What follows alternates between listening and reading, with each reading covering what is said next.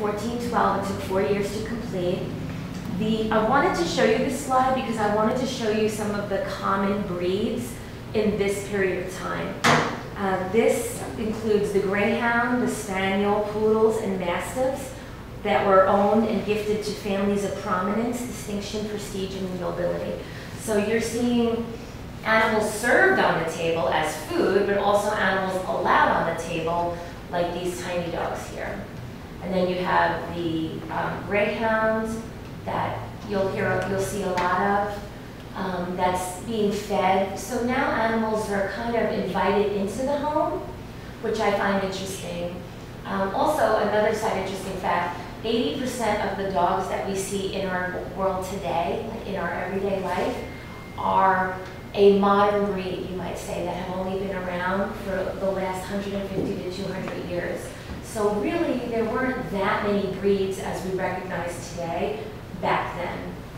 And so I guess what I'm trying to say is that a lot of these animals were considered pure breeds and they were kept that way. A lot of what we see today, um, uh, like the, the Boston, what is it called, the Boston? Terrier. Boston Terrier. That's one that's sort of recent, as you can tell from the name, because it obviously is an American breed from Boston. Okay. So it's not that old, is I mean. This is a marble statue, a pair of dogs, probably greyhounds. You can see, I wanted to include a statue that you can see the, the unbelievable skill of the, of the um, artist. Although I don't know the artist of this particular piece. Um, this was found in Italy and now it's housed in the British Museum.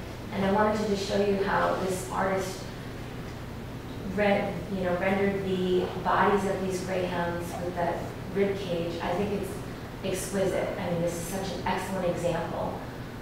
Um, but what I find interesting is that the connection, the relationship that people have had with dogs.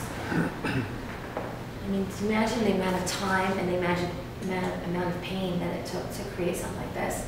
You really have to have a relationship with animals to be that dedicated. This is um, an Italian artist that were, that uh, on the left, there were laws in their society that prohibited commoners from owning such dogs uh, that were considered like hunting dogs and entertaining certain hunting grounds were forbidden. So I thought that was a really interesting thing. Um, these, these are called venatic dogs and they were considered dutiful, resolute, and dependable. So the animals that were considered for the hunt, they had a job to do, and including the horses. And also in, in the subcontinent of India, Asian elephants were used by nobility to, to go on these hunts for the Bengal tiger. They would actually circle, they would take several elephants to circle the tiger and um, and then the, the men would kill the tiger. But really it was a collective effort and the dogs being up front. On the right, you can see these two Venetian ladies that um, have several pets, but really loving on the dogs. They're kind of playing with uh, one of them, you know, hold, shaking hands with the other. So you're seeing like the beginning of real true dog ownership, a true love, a true bond. At first glance, you might think that this is a Vermeer, but good guess, real close, right? It looks a lot like it, um, especially that woman near the window.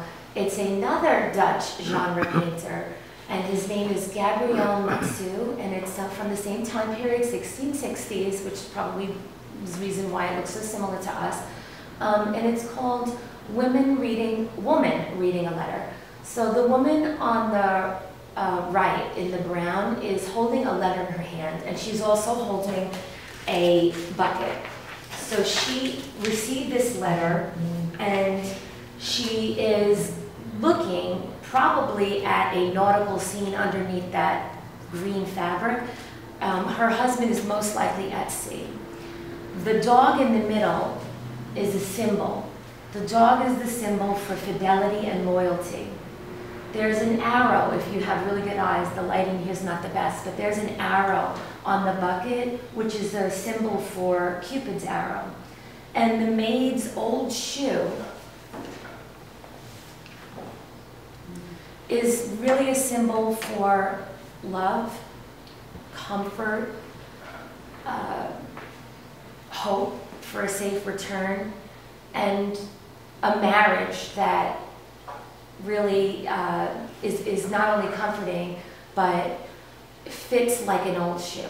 And so this woman is holding the, the letter, and it looks like it's going to drop, but it's because she's thinking about, you know, her, her husband away at sea.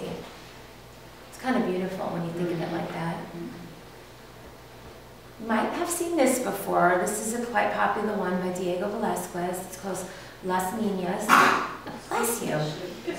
His daughter is in the, no, excuse me, the, the artist is here. And the king is here and here. The queen is here. Sorry, it's so shaky. And their daughter is here in the way, in the center, of the focal point.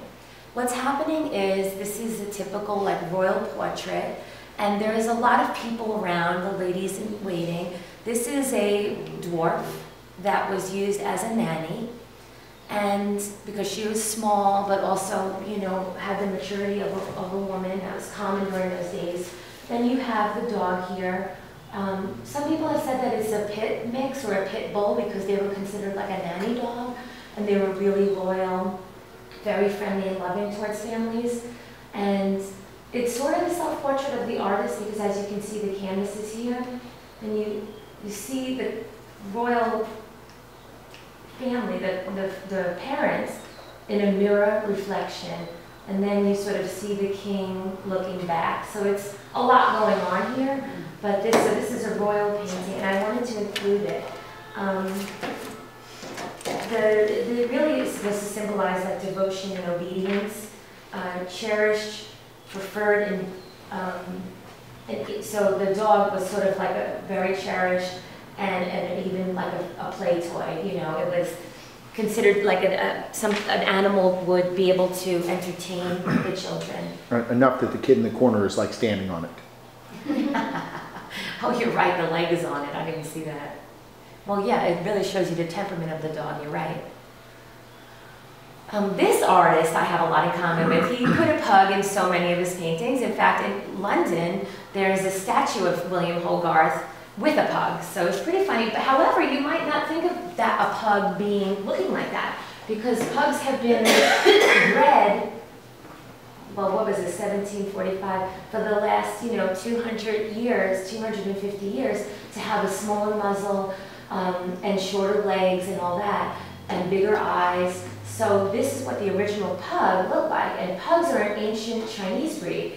In fact, uh, the Chinese would use them as lap dogs, and on their, see their forehead here, you don't see too many wrinkles, but when they were born, they had wrinkles, of course, like pugs do. And the Chinese believed that in within their wrinkles, they could see the symbol for royalty. You know, they write with their symbols and they believed that they could see the symbol for royalty. So um, that's why um, they, they have these pugs started being traded with other countries, um, and they specifically France, England. These were started. These lap dogs were traded for spices once the Silk Road opened up. And then on the right, you can see there's another pug in the corner. He included them in so many of his pieces of art. I wonder if my dog's worth his weight in saffron. It's saffron. right, exactly. How much how much spice for a pug, right? How much saffron can I get? Well, if you've ever seen, there's a movie of late, um, Marie Antoinette, but there she was uh, uh, from let's see, um, she what was she? Not French. She was. Um, oh, I can't think right now. Well, when she had a pug, and then when she was brought to France to marry King Louis the 16th, she was unable to bring her pug with her. She wasn't able to bring and everything from her country, so she had to leave her pugs behind. But as you'll see, there are some royalty that own pugs. So this is more of a modern, more modern painting. These porcelain items depicting pugs dating back to the 18th and early 19th centuries are both highly collectible and extremely valuable. An entire series of pug figurines was created by a German sculptor named Johann Joachim Kändler. Those figurines served as a secret emblem for the German underground Freemason lodge known as the Lodge of the Order of the Pug. They chose the pug as a symbol of loyalty, dependability, and everlasting commitment. Precipitation has been detected near your location. it's gonna rain in here. Um, this is another famous painting called Arnolfini's wedding portrait. And these two are to be wed. She is not pregnant. It is just the gathering of the dress. And then down here, maybe like a Cairn Terrier. And this, again, the dog is a symbol of loyalty. And again, sometimes the shoe could mean like a step into the familiar, a step into comfort, knowing what's to be expected. And then in this mirror back here, uh, yeah, you can see the art is similar to the other one, the Las Meninas. The window is a symbol for God entering their marriage, light. Mary Cassatt was an American who uh, grew up in Philadelphia but spent most of her life in France, very good friends with uh, Degas. And she never married, never had children, but did was fond of, of both, you know, of, of children and dogs, I should say. She was fond of both, so she painted both. And so this on the left is one of her most famous uh, paintings of a child, maybe her niece, but um, or family friend, daughter, and then a little animal. So she, I just wanted to show you some famous artists that have also painted pet portraits. Here's Picasso with his dachshund Lump.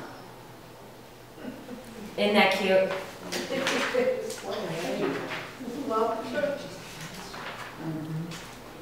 He said that Lump was uh, a muse of